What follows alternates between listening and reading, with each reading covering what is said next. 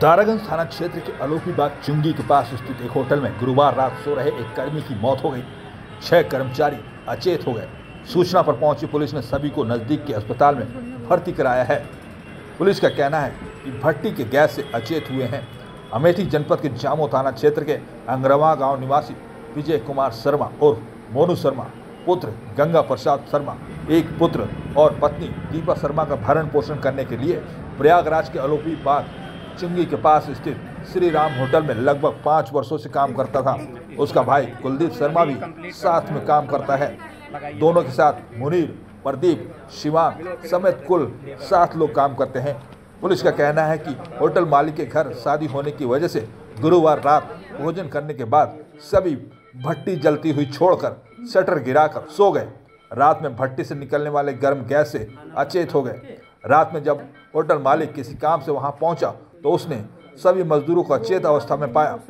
उसने तत्काल पुलिस को सूचना दी और उपचार के लिए अस्पताल में भर्ती कराया, जहाँ विजय कुमार उर्फ़ मोनू की हालत नाजुक होने पर स्वरूप रानी अस्पताल भेज दिया गया, जहाँ डॉक्टरों ने शुक्रवार की भोर में मोनू को मृत घोषित कर दिया। आज दिनांक अठारह दो दो हज़ार बाईस को सूचना मिली लगभग साढ़े ग्यारह बजे जवाहर स्थित श्री राम भोजनालय पाँच लोगों की तबीयत खराब होकर उनको अस्पताल में भर्ती करा दिया है।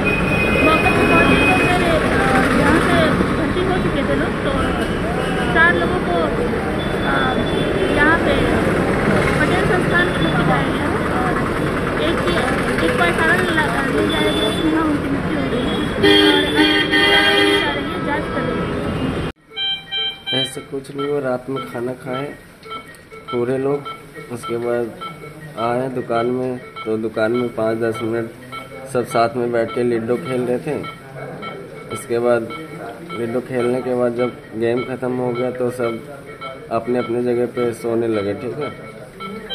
तो सोने लगे तो सो, नींद लगी।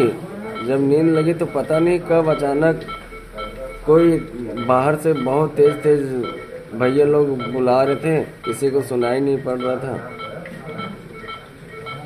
तो आपको किस तरह का वहाँ पे मतलब लगा हवा कैसी लगी आपको दम घुटा क्या हुआ था? कुछ पता ही नहीं चला बस पता है उलझन से फ़ोन आ रहे थे मेरे फ़ोन में भैया के तो उठा रहे थे लेकिन बोल कुछ नहीं पा रहे थे। पीछे दे दीजिए जी। आपका नाम? मेरा नाम शशि राज है।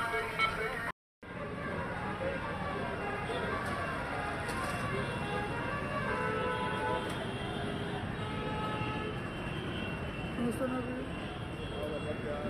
बढ़िया भैया।